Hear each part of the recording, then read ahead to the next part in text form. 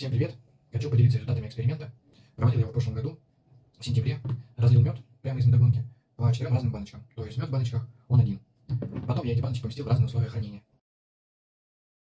Всем привет! Решил провести эксперимент над медом. Смотрел в интернете видео, что если свежеоткачанный мед заморозить, то он останется жидким. Вот, это свежеоткачанный мед с гнезд. Эту баночку я поставлю в морозильник. Эту в холодильник. Эту уберу в склад где у нас хранится мед. А это я отвезу в город и поставлю домой на кухню. Вот. Я вообще замечал, что если мед хранить в холоде, то он садится с более мелким кристаллом, более масляничный становится и более светлый. А если хранить мед в тепле, то он становится более твердый и с крупным кристаллом. Эта баночка у меня была на кухне в городе. Тут было градусов 25 тепла. Вот. Смотрите, какой он получился черный. Это мед гречишный. И он немножко отслоился. Вот. Мед состоит из фруктозы и глюкозы. Глюкоза выпадает вниз крупным кристаллом, а сверху жидкая фруктоза.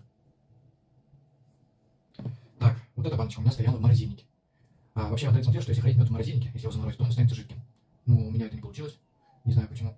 Возможно, так в обычной морозилке не получится сделать. Вот, но он такой однородный. Потом еще все баночки откроем, посмотрим. Так, а эти две баночки, это у меня было в холодильнике. Видите, такие пятна в ней.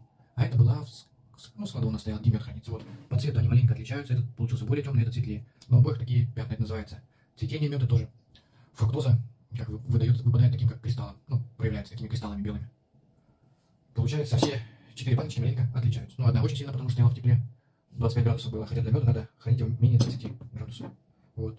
Сейчас мы их откроем и посмотрим по кристаллу, по, по структуре меда, мед, который был в холодильнике. Такая структура меда. Не фильтровался, поэтому сверху видно кусочки воска поднялись вверх. И этот мед был с первого хранка. Поэтому тут и частицы перги есть. И мед, когда кристаллизуется, вот у него все такое, все легкое вверх поднимается, а тяжелое вниз. Ну, кристалл достаточно мелкий у меда. То есть он такой масляничный будет.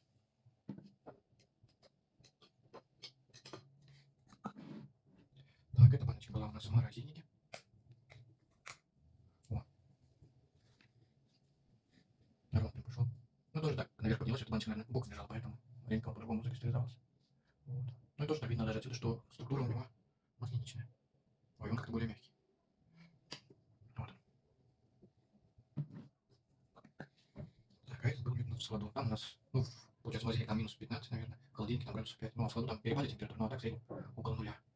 Бывает там морозы.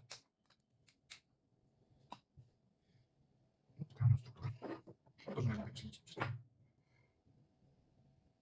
Ну, тоже такой, как, как масло. И сверху переговозка поднимается. Мед на кухне у нас был в тепле, отслоился. Внутри.